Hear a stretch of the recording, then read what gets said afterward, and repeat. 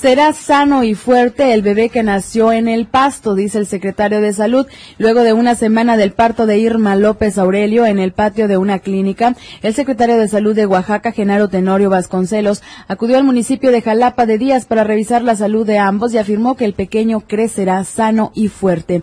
Me alegra constatar personalmente la buena salud de la señora Irma y su bebé, escribió el funcionario a través de su cuenta de Twitter.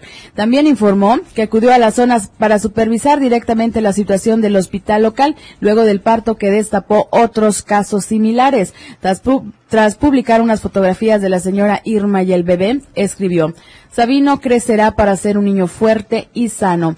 velaremos por su salud.